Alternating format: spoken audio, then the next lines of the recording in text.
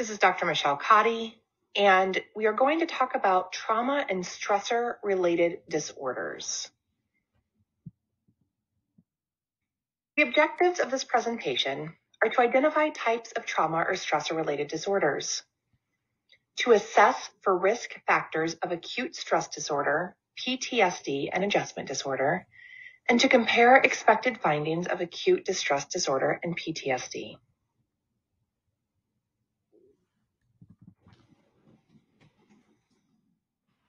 Let's look at the types of disorders under trauma and stress related disorders. Acute stress disorder is exposure to traumatic events, which causes anxiety, detachment, and other manifestations about the event for at least three days, but not more than a month following the event. So that's acute stress disorder or ASD. PTSD or post traumatic stress disorder is when an exposure to a traumatic event causes anxiety, detachment, and other manifestations about the event and these feelings last for more than a month, but can last for years. Adjustment disorder is when a stressor triggers a reaction causing changes in mood and or dysfunction in performing usual activities. The stressor and effects are less severe than with acute stress disorder or PTSD. Dissociative disorders. So there are several types of dissociative disorders. Depersonalization or derealization disorder. This is a temporary change in awareness. So the individual, when they experience stress, depersonalize or derealize. And what does this mean? Depersonalization is the feeling that a person is observing one's own personality or body from a distance, like you're disconnected from your body. That's depersonalization. And derealization is the feeling that outside events are, are unreal or part of a dream, or that objects appear larger or smaller than they should. Dissociative amnesia, the inability to recall personal information related to traumatic or stressful events. The amnesia can be of events of a certain period of time or just certain details. Dissociative fugue. This is a type of dissociative amnesia in which the client travels to a new area and can't remember their own identity and at least some of their own past. It can last for weeks to months and usually follows a traumatic event. And dissociative identity disorder, this is when a client displays more than one distinct personality with a stressful event precipitating the change from one personality to the other.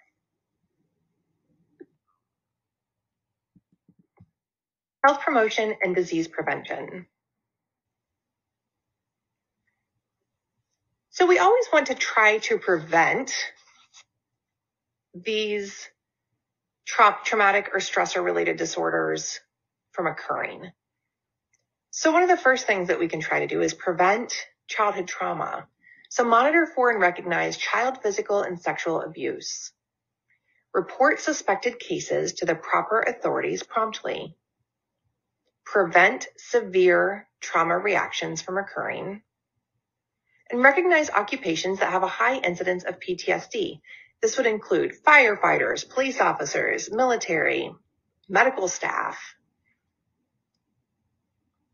To prevent PTSD from occurring during traumatic events, we need to know these people need breaks. So if you think about nurses on the COVID unit, they're going to need breaks, they're going to need to eat, they're going to need sleep, water, things that sometimes nurses don't get. We want to give emotional support for people involved and support each other, debrief after stressful in- incidents at work, encourage expression of feelings, and offer counseling resources.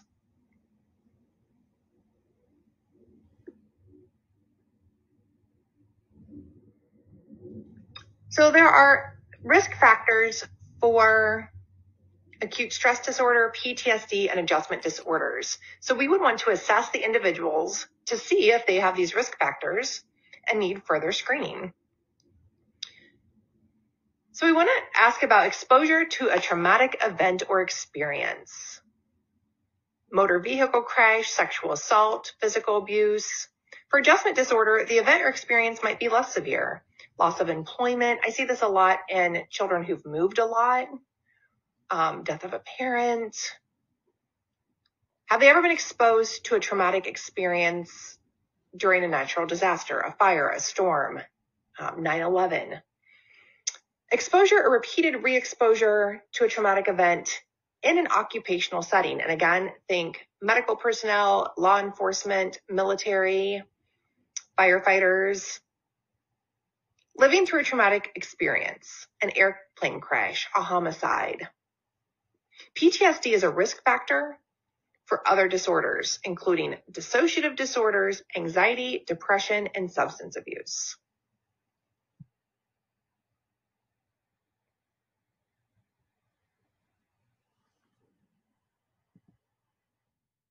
For acute stress disorder and post-traumatic stress disorder, we want to assess for the following risk factors, and these are some things that we might expect to find.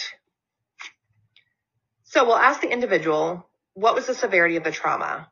How long did it last? What was the amount of personal threat associated with the trauma? And was it in home? Was it on vacation? Was it at their school? Um, was the setting that the traumatic event occurred in a familiar surrounding? We want to know how vulnerable they are. So what we're thinking about here is what is their resiliency factor? How do they cope? What is their personality? Do they have other pre-existing mental health disorders? Did they get help after the traumatic event? Did they have social support, family support, support at schools, societal attitudes about the situation? What did their family think about mental health treatment? And what are the cultural influences? What might we find? We might find that there are memories, flashbacks, and dreams about this traumatic event. Those are called intrusive findings. These memories of the event would be involuntary and distressing to the client. They may have flashbacks, so dissociate, dissociative reactions where the client feels like the event's happening right then. So sometimes military vets can feel that they're reliving combat situations when they hear a loud noise. You'll see a startle reflex, may have nightmares about the event, avoid things that remind them. So if an event happened at a football field, then they might avoid crowded events that involve sporting situations. They try to avoid, in general, thinking about the event at all. We also might see mood and cognitive alterations. What does this mean? So these individuals might experience anxiety, depression, anger, irritability, decreased interest in doing things, guilt, negative self-beliefs. Maybe they had a sister die in a car accident and they think it's their fault. It should have been me. So that's a cognitive distortion. Detachment from others. Maybe they're unable to form close friendships with friends and family members. Inability to experience positive emotions like love. And again, they might have dissociative manifestations. So that's where we'd see the amnesia, depersonalization, derealization. When we think about behavioral manifestations, we may see aggressive behavior, irritability, angry responses towards others.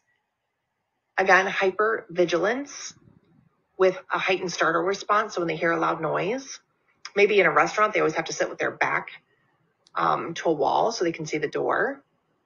Inability to focus and concentrate on work or other activities. They might have insomnia. Um, this can be caused from nightmares and destructive behaviors like suicidal thoughts or thoughts of harming others.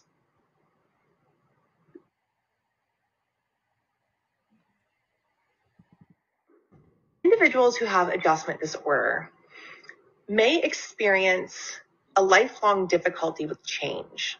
So when we're talking to these individuals, we want to assess for risk factors. And that would be a question that we would ask. They may have a learned pattern of difficulty so what does that mean? That means when a stressor occurs, this triggers a stress response, which is out of proportion. So disproportionate response to the stressful event. And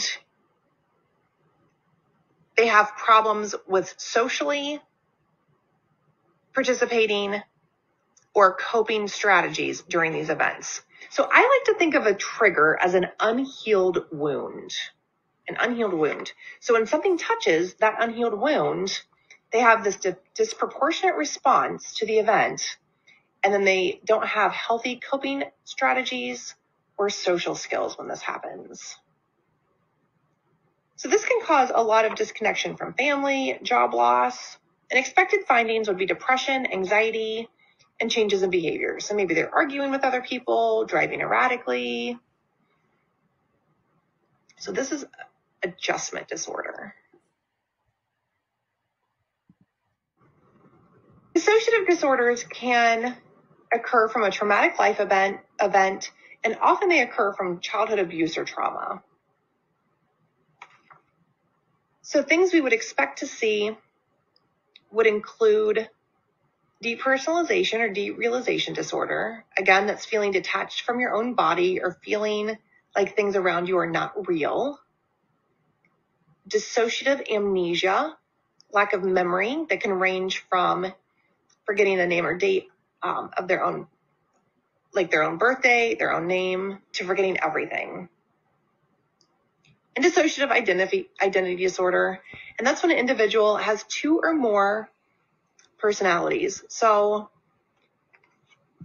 their personality is fractured and sort of compartmentalized. So when they experience a stressor, then they may go to a different part in their brain so that they are able to deal with things differently.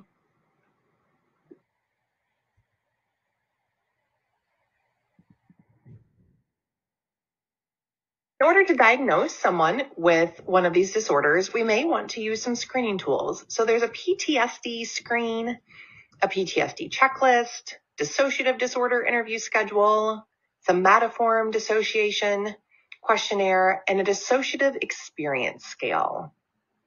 We'd want to screen for SI, anxiety, depression, or substance abuse. And we would want to do a mental status exam. We may need to rule out traumatic brain injury from physical trauma. So nursing action, assess for recent and remote memory gaps or contradictions. Check for family or occupational difficulties and ask about the occurrence of stressful events. These individuals may have mood shifts, anxiety, and we want to make sure that we are doing a thorough job assessing the symptoms that they're experiencing.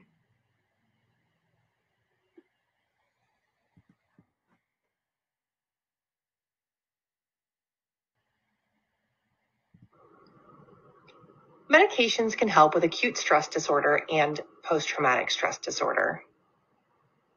So selective serotonin reuptake inhibitors or SSRIs SNRIs, or serotonin norepinephrine reuptake inhibitors, mirtazapine, which is a norepinephrine and serotonin specific antidepressant, amitriptyline, which is a TCA, and then prazosin. Prazosin is a centrally acting alpha agonist. It helps with nightmares and insomnia.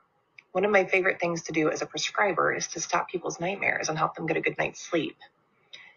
Um, prazosin is something that can do that. Irregardless of vital signs, a lot of people can tolerate prazosin if you titrate it up slowly. Propranolol is a beta adrenergic blocker and it decreases elevated vital signs and manifestations of anxiety, panic, hypervigilance, and insomnia. For adjustment disorders and dissociative disorders, medications might not be prescribed unless they also find um, depression and anxiety symptoms that requires treatment. Now let's talk about therapy.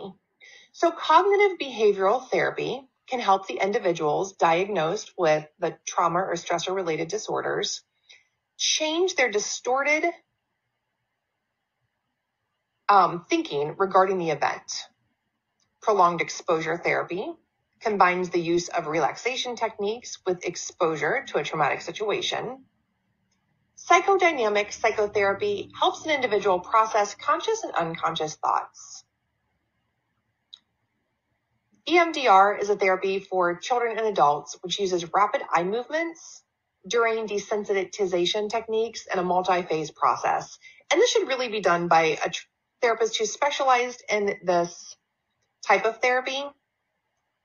Anytime we want to dig up somebody's historical trauma, we need to make sure that they have DBT therapy first is often helpful for people who dissociate. It's particularly helpful for individuals who have borderline personality disorders. But regardless of what we use, we need to make sure that they have appropriate coping techniques before doing things like EMDR, because these types of therapies can be stressful when they're um, reliving some of these traumatic events. Group or family therapy, crisis intervention. So immediately following a traumatic incident, we want to intervene and see if we can stop some of these um, lasting effects. Somatic therapy, hypnotherapy, and bio or neurofeedback are also other types of therapy we can use. And the biofeedback or neurofeedback, the individual learns how to increase awareness and gain control of their reactions to a trigger. So regardless of what type of therapy we use, we want to make sure the clients are referred to social workers or case managers so they can get some community help and we want to coordinate that care for them. We want to educate the individual on relaxation techniques, anxiety reducing strategies to avoid caffeine if it makes them more anxious and alcohol. Um, and obviously other illegal drugs. We want to help them perform grounding techniques when they dissociate. And if they can, keep a written journal that identifies their emotions that are associated with experiences.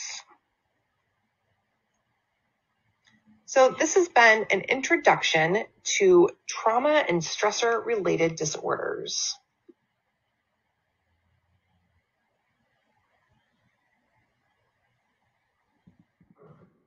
Here are the references. And again, these lectures are taken from your ATI book for this course.